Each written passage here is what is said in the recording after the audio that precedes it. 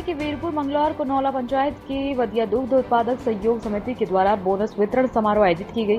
Bonus वितरण कार्यक्रम की अध्यक्षता दुग्ध समिति के अध्यक्ष विजय बहादुर सिंह ने किया। इस मौके पर बरौनी डेयरी के मुख्य अतिथि, सह निर्देशक मंडल के सदस्य सुशील कुमार महतो एवं बरौनी डेयरी के प्रापण पदाधिकारी ओम प्रकाश सिंह के द्वारा वित्तीय वर्ष दो हज़ार एवं बीस इक्कीस के कुल बयासी पशुपालकों के बीच एक लाख उनसत्तर हज़ार आठ सौ सड़सठ रुपये की बोनस की राशि का वितरण किया गया। इसके अलावा पशुपालकों के बीच बाल्टी सुधा नीम पाउडर का भी वितरण किया गया।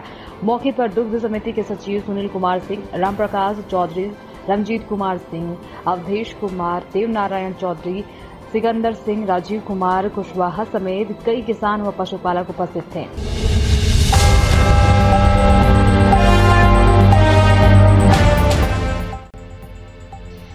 हैं एक्सप्रेस न्यूज़ भारत। आइए हमारे साथ जुड़ने के लिए संपर्क करें।